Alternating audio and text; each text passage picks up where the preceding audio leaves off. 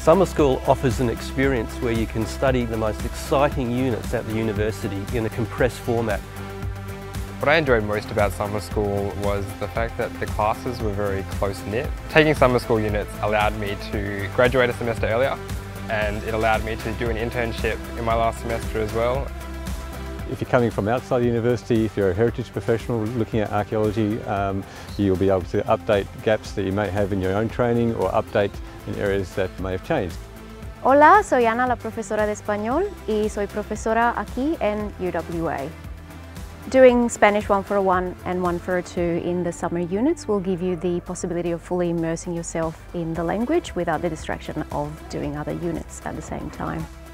Experimenting with archaeology will teach our students how to handle, uh, how to assess and how to record and determine the significance of real-world archaeological sites. My unit is our solar system and it covers a whole heap of fascinating topics. Climate change, the search for extraterrestrials, the search for planets beyond our solar system. We can offer a package that is going to enhance students' experience.